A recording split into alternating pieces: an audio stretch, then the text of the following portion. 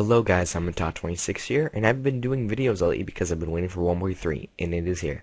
Where I'm going to show you how to install the X-Ray mod for 1.3.1, but it does not matter what version you are using. It just matters if you have the mod or not.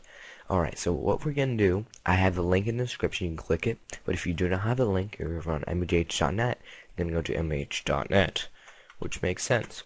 And go there, and when it shows up, you, uh, you're going to click Minecraft Hacks right under the skull, Minecraft Hacks, and you need to sign up. By the way, you need to have a, a user, and um, you need WinRAR for this mod. You can click Minecraft mods.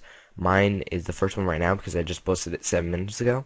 So you can click 1.3.1 or whatever version you're using, if you find it there, and you're gonna scroll down. You can look at the stuff, have the virus scans here, and you can click download and thanks. Download and thanks. Gonna do it you're gonna do it. You're gonna open with, uh, no, you're gonna save it to your desktop, okay, guys? Save it to your desktop.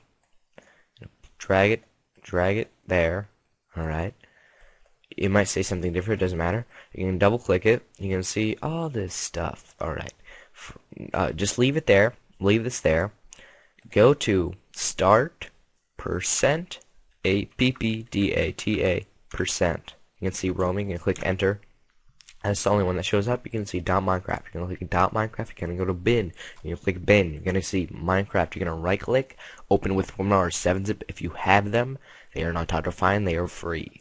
Open with WinRAR. If you're using it, you can close this out. Meta Metainf, delete. Alright, you can close out of bin. I didn't say anything else. I just said bin. And you're gonna go to your X-ray. You're gonna drag it into. I don't know why I have to to minecraft.jar and click yes. It is done. X-Ray mod has been installed. I'll show you guys that right now.